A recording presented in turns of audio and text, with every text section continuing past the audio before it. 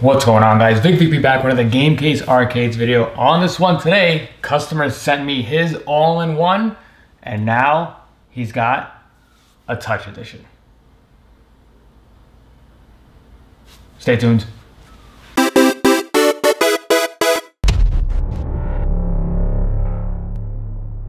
All right, guys, you know the drill. If you are not following me on all the social media, what are you waiting for? Be sure to follow me at Vic underscore VP. I actually have a very good trend going on um, as far as, you know, when videos get uploaded to when they get, you know, when I film them. Um, so if you were following, you would have seen this way before this video actually goes out. I have it set right now to about maybe a once or twice video a week because I am busy. Uh, you know, I'd rather have a consistent flow of videos. So I do have a lot of videos lined up, but I have it set to premiere and show once a week. Again, if you did follow on Instagram, you would have seen like live. When I go on my Instagram stories, it's live 24, you know, it's only up for 24 hours for the stories. You would have seen this exact build here. You would have seen me getting it, unboxing it, testing a couple of things, mostly some of the newer side of things that I just added to this. And you would have actually seen me going in and actually attempting and trying out SFTE on current Windows 10 versions. Should be a short and sweet video, but you know me, I like to talk. Uh, did a couple add-ons. This actually is going out to a buddy in a Facebook group by the name of Derek. He's very well known actually around, even on like the arcade punks, very active user. So he hit me up in our group. There was a big rush of touchscreen stuff and uh, you know, people see that I have my touch edition and people inquired. Derek went the extra step. He actually purchased an all-in-one PC. He had it shipped directly to me and said, hey Vic, do your thing. And we're all set and good. So I'll give you a little bit of background on Derek and the whole situation with this actual PC. I did add a couple of things. He said to me, hey Vic, you have about a week or two to kind of finalize it. I don't need it in a rush. I said, okay, cool. I'll probably try a couple of things, a couple of new things. You know, if it works, it works. If it doesn't work, it doesn't work. But uh, basically, he has a couple of small additions than my past versions, which honestly is very easy to add on, but it's pretty cool. Sent me the PC, I got it up and running. I'm gonna tell you the background to the PC itself and the journey with that, and we'll go in and check out the new add-ons. So I'm gonna start this video by talking about the importance of Windows 10 version 1909. I'm really happy because recently I did actually attempt SFTE on current gen Windows versions and I'm gonna cut right to the chase. It was a god awful experience. I was using SFTE on my current gen Windows on my, my main PC rig. I'm talking an i7 3070 with 32 gigs of RAM. The speed on this on the SFTE side, it was awful. Not to mention the attract mode videos. It was all pixelated. It uses shockwave. It was a awful experience. So I get this question a lot and I always say it in my videos. It is very important if you are inquiring about a touch edition, whether you want a drive or if you want a PC, it will forever have Windows 10 version 1909. I did have people hit me up and go, oh, it does work on current gen Windows, you should try it. I tried it and nope, you could count me out. The big thing again, if you if you are looking at this and you look at your current PC that you're using now, I guarantee you you are not running Windows 1909. You're probably upgraded. Windows 1909 is the last version of Windows that utilizes Flash. After 1909, Windows removes Flash.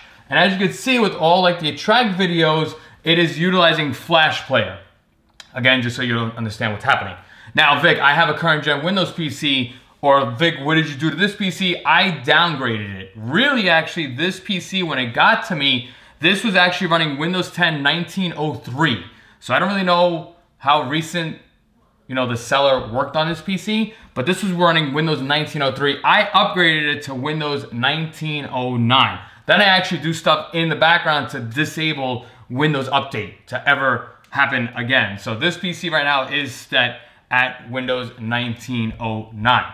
So I'm gonna show you like a quick snippet that I took of me running current Windows 10. But before I do it, let me show you what I, the biggest things that I did notice. Number one, definitely the attract mode videos it would have to be redone than what I have. It just was like, it looked awful. I'm gonna, like I said, I'm gonna show you after I show you this. The other thing I did notice was the responsiveness of switching pages and tabs. As you can see right now, I am flying. I'm I'm going. When I ran it on Windows 10 current, I would press and I had to wait like 10 seconds. And not to mention, in the video, I'm gonna probably show it now. In the video that you see here, I didn't even have all the games, number one, set up. I didn't have I didn't have anything set up besides two like main systems in the beginning, like two games. What's going on guys? Vic VP here. Just wanted to check you out real quick. STFE, simple touch, right?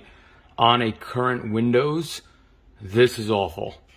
So originally STFE needed Flash Player. That's why in my videos I say you do need Windows 1909. The newer version is no more Flash, so now they do allow GIFs. And as you can see, converting my Flash file to GIF, it looks like that. Not to mention, there is a big slowdown. I'm gonna click this right now. There is a delay here and I only have two GIFs. Imagine if the whole page was full of GIFs. No, let me bring you back to my other computer. You're gonna see the regular STFE. So now I'm on my test bench PC running Windows 1903. Up to 1909 works with Flash and look at this. I'm able to bounce. I'm able to go back. Look, seamlessly flawlessly.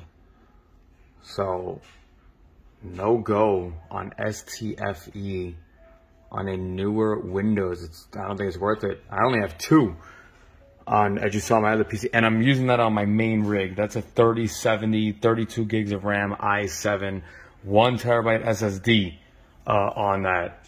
This one right here, I'm actually doing this off of an external drive. So, nope. Looks like I'm sticking to Windows 1909 for all my touchscreen builds. So for me to even not have it like configured and for it to be that slow, I threw in the flag. I said, nope, I will never do it. I will forever use Windows 1909. And as I said, I'm right now, I'm flipping through stuff. I'm, there's no delay. So while I give you the background to the PC, I'll play a couple of games in the background. Um, we'll just, I'll, I'll launch games randomly, just kind of showing off the new games and stuff. I really won't play them, but at least we'll kind of launch them and such. So it was basically going back and forth with Derek. Derek, you know, Derek said, "Hey Vic, what do you suggest as far as the PC specs?" I always have my basics.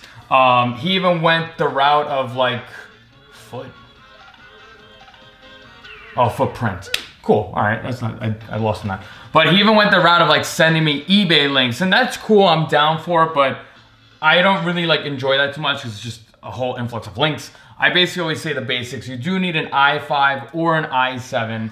Definitely you want 16 gigs of RAM. He's big on BlueStacks. So I did say to him, listen, you want BlueStacks, I highly recommend and suggest that you do 16 gigs of RAM. He did find a lot of i5 and 8 gig of RAM. I said, dude, I know you want BlueStacks. You should just, you know, buckle down and search and find 16 gigs of RAM. Then also the main important thing is the SSDs. Uh, this right now is running a 512 gig SSD. Usually I try to find one terabyte. He was finding a lot of six gigs, i3s, one terabyte hard disk drives. In this day and age now, it's been so long since I've actually had a hard, an HDD, a hard disk drive as a boot. Just the boot times on those are brutal. So we were going back and forth and the big thing that he did notice was like, you know, hey Vic, these are expensive. Even when they are old units like this and refurbished, it is what it is. It's very difficult to find these at an affordable rate. I believe on this one right here, he has right now an i5 16 gigs of RAM, 512 gig SSD. After it was shipped, I believe this was around 650 to 680 just to ship it to me. That's just the PC alone. And yes, this is refurbished hardware. It's it's actually a G3. It's an EliteOne. Uh, very nice awesome. You know, it's it's great. It's got even like the pivot screen and it could go up and down. It's really nice for its age. But again, granted, it's still expensive. Now, if you did go current gen though, that you're really, you're looking at double, almost triple the price. The biggest thing is to find touch screen ones. I kind of scour, I have right now a customer that is wanting in touchscreen edition, a touch edition, and just to find a touch screen EliteOne, it's difficult. Like I said, always be sure. And I was telling Derek, you know, he sent me two links and I said, dude, message the, the seller, make sure these are touch screens. I don't care if it says it in the description or in the title. just take that extra step and ask them if it's touchscreen. I personally had that issue where it said touch and I got sent a non-touch and I had to do the whole return process. It was a god awful nightmare. So you definitely want to be careful with that. Now again, Derek started out was like, hey Vic, you know, how much is it if I buy it from you? And I gave him a price and I was like, you know, it is what it is. We didn't really realize or he didn't really realize how much the PC is gonna be and until you actually sit down and look, you can find out how much the PC is. So basically, I'm right now charging him for the setup, the configuring, and all that we see here. We got Pinball FX3 and FX2. Awesome, easy, awesome stuff. Once I cut, he pulled the trigger. This took about a week to get in my hands. It takes some time, and luckily it's giving me extra time to add more games. Now in this specific one, the actual seller did not include a keyboard and mouse. Usually they do. Um, I've gotten so many of, of these and so many of my regular like you know, pre-built PCs. I'm just gonna give him a keyboard and mouse. Yes, granted, these are wired. I'll be honest, these are cheap. Uh, I just have them handy. So I'm giving it to him. I don't have that all the time, but this is like a brutal keyboard. It's, you have to really press the button like to press enter and such. Yes, you do need a keyboard and mouse no matter what. I am tucking it kind of away so it's out of the screen. I did tell him like, hey, you know, I do suggest getting you the gamepad with the mouse uh, I have my bubble wrap here just to protect my paint over here. But basically now, as far as the basic add-ons that I did with this, and I think it's pretty cool. Uh, let's go over the basics. I normally, I did, I did want to try it on my own. The first add-on is a PC game, which is known as Dead Containment. This is actually a shooting game. It's a shooter, uh, almost like House of the Dead. Does it work? It works. Is it flawless? Not really. As you can see, sometimes you might have to do a double click or a single click, but to reload, you have to actually hold down. It's a right click to reload, and because we don't have any mouse and keyboard, it is a right click to reload. So it's pretty cool. Graphics though are set to low. This does not have a dedicated graphics card in it. I did try to launch, I missed a shot, I missed a shot. So we got one, I got a reload, long press, and boom, there we go, awesome. I did try to put House of the Dead Remake on this. It was, the computer was not handling it. It couldn't even launch it. So it's pretty cool. As you can see though, once I tap, it is a delay, so I am kind of hitting it. Again, he didn't request this. I just took that extra step. I was like, you know what? Let me see if this works. So I kind of have to go like ahead of the shot, really. Again, long press to reload. It does need a right click. And cool do I want to put this now on all, you know, the other people's builds? I have to reload, as you can see, and I failed. Is it fun, cool? Is it really meant to be played like this? No, it's not. Uh, but it was worth a shot to add it. As you can see, like you have to wait for cutscenes and all that. I have to quit in the menu and it drops it. As far as like PC games, I did add a couple such as like Monkey Island. That's like a big thing. Again, all the PC games have to be known as point and click. If you go to Steam and you look up the word point and click, you can find point and click games. So I have Monkey Island 1, 2, and I even have the remake that just came out, so which is Return to Monkey Island. You may need a keyboard, you know, maybe just to type your name in, I don't know, but as you can see, most of it is flawless. If it didn't work, especially with the touch, then I wouldn't even put it. I did put like another one like unpacking, which is kind of like a cool thing. I did put the remake of Oregon Trail, but I'll be honest, you do need a keyboard and mouse. Yes, you do, you do need it. Uh, it doesn't really work well. It's really a game that's not only point and click, you do need a keyboard for it. And as you can see, I cannot proceed. I do have this because it's classic, it's old school. Like, you know, if you have the keyboard and mouse handy, cool. But this is also where me personally, like, I don't want to add these games if they don't work. Uh, I am adding it to his, but, you know, I'm the type of person where let me add it. If you don't like it, then you could just simply remove it. It's that easy. So as you can see, this is the first time that I'm launching it. And as you can see, I cannot press this. Vic, why do you have it? I mean, it's it's an old school game. And not to mention, I have the bubble wrap. That's why the mouse isn't that great right now. Uh, I, I have to mention that this is a tiny file. This is like a 500 meg file. It's not like 10 gigs. It's minor. So, you know, you want to relive the classic, there you go. I'm right now just gonna Alt F4 out, or can I hit escape? No, I can't. Let me grab the keyboard, and most likely an Alt F4 will exit out. Awesome. So now real quick, I'll show you one of the two add-ons that I did. One of them is Gamehouse Max. This, somebody posted this in our Facebook group and was like, whoa, look at this. It's 150 games. It's a five gig file. So shout out to the person that made this. I will definitely post the download link down below. It is an old file apparently, but um, I never seen it. Somebody posted in our Facebook group and that is honestly what got the ball rolling with touchscreen hey Vic, you know, I see the touchscreen and look at this touchscreen and all that. So that got the ball rolling. The only big thing is that once I sat down and I started playing with it, the games on this are not entirely touchscreen. Uh, there is 150 games and there's also Super Nintendo on this. You do need a keyboard and mouse for the Super Nintendo side of it. This is actually using, I believe it's um, BNES or, uh, or another emulator. But as you can see, like I can't, it's not entirely uh, touchscreen. Uh, not to mention if I want to Alt F4, I have to Alt F4 out of that. I haven't touched Super Nintendo because I know it's not going to work with the touchscreen. But there are a couple of games that they do work with the touchscreen. So far I played like one or two, like I was playing this Chicken Rush. And touchscreen works, but in game it's a little wonky. Uh, you're probably better off using like a mouse for this. I'm going to show you real quick. Um, but basically, again, this is really somebody, it's game house. So to me, it's like PopCap. As you can see, like, see, I'm just tapping it and the player is kind of flying off the handle. It works. You know, it's cool. Awesome. I'm gonna exit out with Alt F4. Really, you have to play through the entire game. Let's see like Chainz 2. That's a very popular one. Again, this right here, like for me, this is known as like PopCap games uh, Chainz 2, Zuma, all that kind of stuff. So can I get by? Nope, I need a keyboard. I didn't test this. I'm literally doing it live in front of you. It's just like I said, somebody posted it and you know, why not? Give it a try. It's 150 games. You might need a keyboard, okay, but at least you have 150 games. So let's just see now how this goes. So, uh, oof, boom. So a game like this, I could I could touch this. Can't touch this thing in it. Like this is cool. I'm all right with it. Menu, exit, done. So like I said, in the Facebook group, people thought it was all strictly touchscreen games. And I'm like, no, there was a couple. There was actually like, I think it was like this one with the samurai. It needed like keyboard, it needed keyboard input. So as you can see, like I have to press play. Uh, it didn't go full screen, but I probably should have pressed full screen. I'm gonna just see here, see like it says here, move samurai with WASD.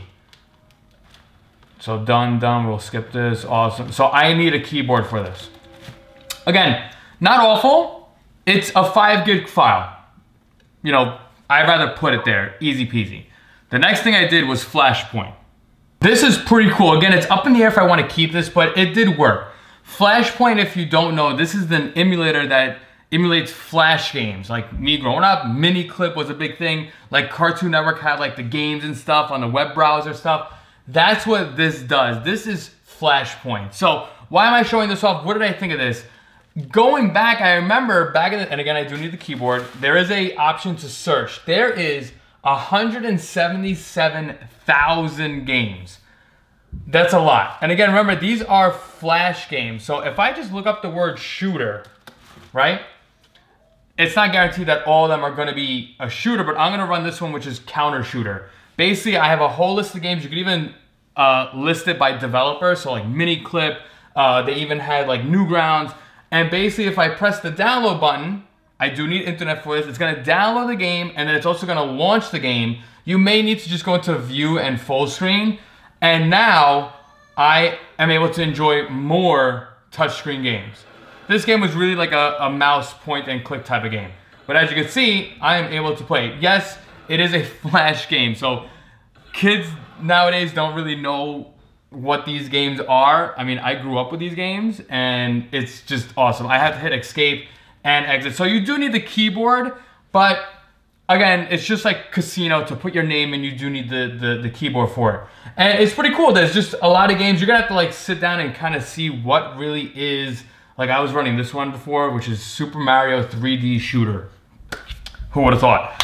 Again, you do need internet for this. As you can see, I could go full screen on it. I'm gonna press the OK button. Again, these are web browser games. A, I never play this, but as you can see, there are some point and click stuff. You might even find some adventure games. I'm right now looking at shooting games. So I'm, I'm throwing stuff. Awesome. I'm gonna exit that because I don't want to get hit with copyright. But as you can see with the music, there's a handful of games. It even gives you the little like window on the side. I don't have to always do like full screen. I could just hit the square and you could still kind of have like the X there. So it's cool. 177,000 games. That is a lot of games.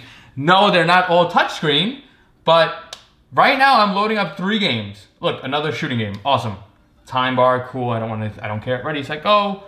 And yay, let's go. Ah, cool. Like, this is not bad. Come on, get him, get him. What happened? So it might need a double tap on it. As you can see, somebody did request that. They're like, Vic, I noticed that you have to double tap that sometimes. Yes. Some, I think it's really a Windows thing. Or as you could see, like before when I was playing the Counter-Strike game, it wasn't like that. It might be this actual game itself. But yeah, as you can see though, as I'm going down, it's, I'm like missing them. But it's just one ghost.